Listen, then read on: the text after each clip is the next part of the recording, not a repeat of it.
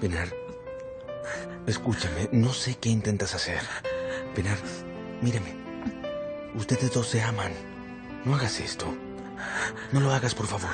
Por favor. Él no me ama, Mehmet, pero yo sí. Yo sí lo amo.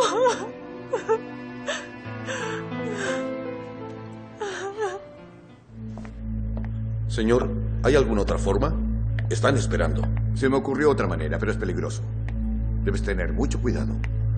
Asignaré a mi mejor personal. Encuentra una empresa en Holanda. Lo que hagan no es lo importante. Deben ser confiables. No deben traicionarte. ¿Entonces?